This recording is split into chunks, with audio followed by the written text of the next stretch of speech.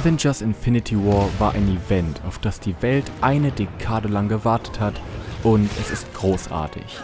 Während andere Filmuniversen schon bei ihren ersten Schritten scheitern, ist Marvel schon immer 10 Schritte voraus gewesen und hat es tatsächlich geschafft, eine Geschichte mit über 20 Protagonisten zu erzählen und hat etliche Rekorde gebrochen.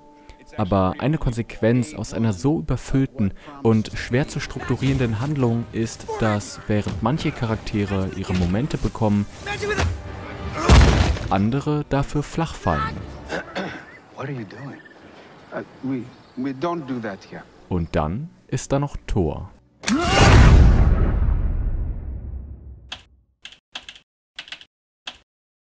Während andere Charaktere schlechter funktioniert haben, sollte er besser funktionieren.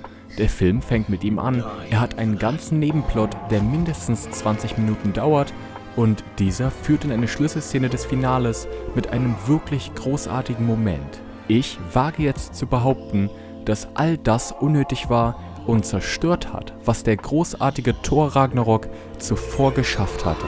Ragnarok oder hierzulande brutalerweise Tag der Entscheidung hat aus einem zweitklassigen Charakter nämlich einen Menschen gemacht.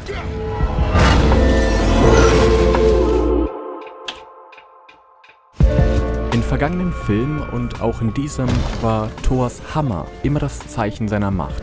Hulk konnte er erst mit dem Hammer ebenbürtig sein und ihr habt es alle bemerkt, er kämpft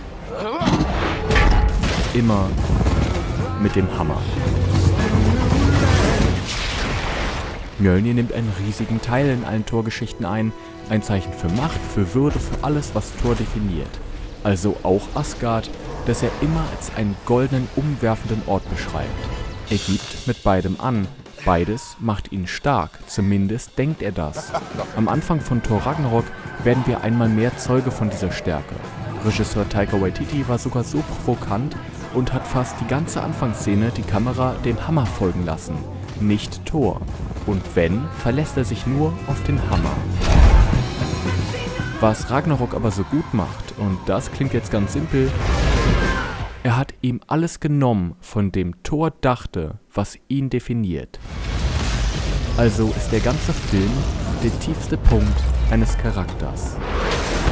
An tiefsten Punkten lernen wir unsere Charaktere erst richtig kennen, durch Entscheidungen, die unter Druck getroffen werden und ihre wahre Natur offenbaren. Wer ist Iron Man ohne seine ganze Technik und wer ist Batman ohne all seine Gadgets und seinen Anzug?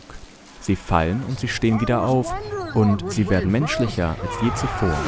Wer ist Thor ohne seinen Hammer und ohne Asgard, wenn er alles verloren hat und niemand hinter ihm steht? Thors persönliche Reise in diesem Film wird fortgesetzt, die davor nur in seinem ersten Film stattgefunden hat und danach wieder vergessen wurde. Er lernt endlich, dass er nicht der Gott des Hammers, sondern der Gott des Donners ist. Er ist die Macht, nicht die Waffe. Diese Erkenntnis hat Autoren sechs Jahre gekostet und Thor endlich wieder gut gemacht. Ich denke, Ragnarok hat darum einen brillanten Zirkelschluss gezogen. Die erste Actionszene des Filmes zeigt Thor nur mit Hammer alles besiegen. Nach seiner Entwicklung spielt derselbe Song vom Anfang nochmal und die Situation wiederholt sich. Er ist mächtiger als je zuvor, ohne Hammer. Thor wächst endlich über sich hinaus und wird weiser. Asgard ist kein goldener Palast oder eine schöne Brücke, sondern die Menschen und er als König muss nicht die Fassade wahren, sondern das Volk hinter ihr. Ragnarok gibt dem Charakter einen frischen Neuanfang und macht ihn zu einem interessanteren Charakter als je zuvor. Und dann kommt Infinity War und zerstört alles.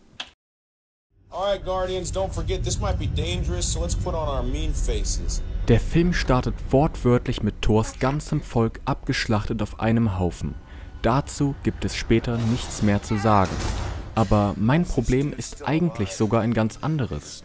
Thors ganzer alleiniger Nebenplot besteht daraus, sich eine Waffe zu bauen, weil er alleine nicht mächtig genug ist.